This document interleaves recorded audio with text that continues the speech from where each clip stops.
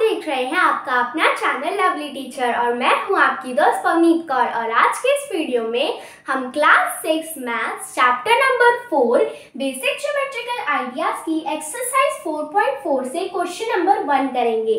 तो चलो आज की इस वीडियो को बिना किसी देरी के शुरू करते हैं। तो सबसे पहले तो हमारा क्वेश्चन देख लेते हैं जो कि है draw a rough sketch of a triangle A B C तो सबसे पहले हम इतना ही काम कर लेते हैं। हमें एक ट्राइंगल का रफ स्केच ड्रॉ करना है और उसका नाम हमें रखना है ए बी सी तो सबसे पहले इतना काम कर लेते हैं। तो हम एक रफ स्केच ट्राइंगल जो है ड्रॉ कर लेते हैं यहाँ पर।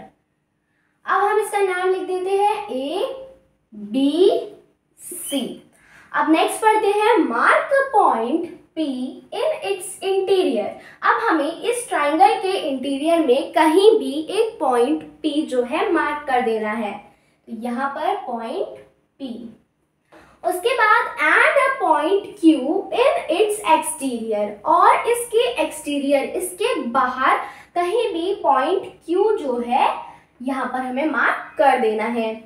Is the point A in its exterior or in its interior. अब point A कहाँ पर है? ये रहा point A.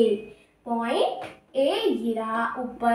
अब यहाँ पर हमसे पूछा गया है पॉइंट ए जो है, वो ट्राइंगल के इंटीरियर में है या फिर एक्सटीरियर में है? वो ट्राइंगल के अंदर है या फिर ट्राइंगल के बाहर है? तो आप देखो, क्या ये पॉइंट ए, जो है ट्राइंगल के अंदर है? नहीं, ये ट्राइंगल के अंदर नहीं है. अब क्या ये ट्राइंगल के बाहर है? नहीं, ये ट्राइंगल के बाहर भी नहीं है। तो इसका आंसर होगा कि ये जो है ट्राइंगल के ऊपर है। जो ट्राइंगल की बाउंड्री है, ये उसके ऊपर है।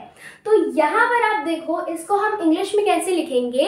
Point A is neither on the in the exterior nor in the interior it is on the triangle तो ये हमारा ये क्वेश्चन जो है कंप्लीट हो गया है। तो इसी के साथ हमारी आज की वीडियो होती है समाप्त। तो अगर आपको वीडियो अच्छी लगी हो तो इस वीडियो को लाइक करना चैनल पर चैनल को सब्सक्राइब करना और इस वीडियो को शेयर भी करना।